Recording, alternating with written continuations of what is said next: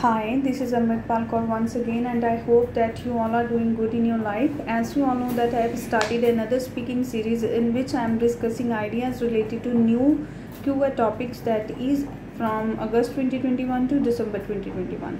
So today we are going to do the next topic that is describe a person who solved a problem in a smart way. So here you can talk about anybody like your mother, brother or father or sister anybody.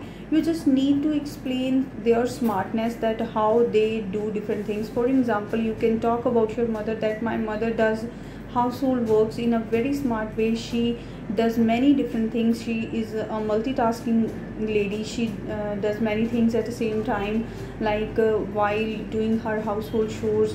She, uh, she, keeps on gossiping as well as uh, she listens news as well. So this is how you can answer. And apart from that you can talk about your father that my father is the leader of my village and he actually help uh, helps people about their not only personal but also professional shows so this is how you can answer.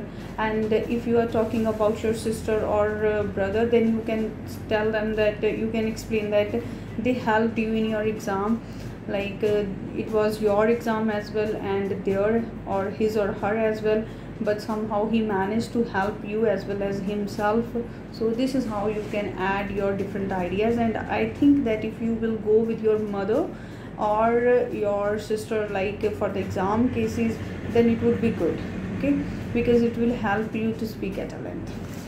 The next topic is describe an exciting book that you enjoy reading. So here the always and the best trick is that talk about a movie the movie you have watched. So you can just uh, you just need to swap the words like three idiots. So you can make that that i have read a book the name of the book was three idiot and it was about three best friend and it was very interesting and i enjoyed it a lot because they were doing their studies because of some uh, one of them was doing uh, his study just for his parents and uh, with parents pressure while one was doing because it was his passion and none of was there just because of himself they were there with some kind of pressure so it was very interesting it was very fascinating that what will happen at the end. So this is how you can answer and this is a best trick you can talk about any good movie and i would suggest you that you should go with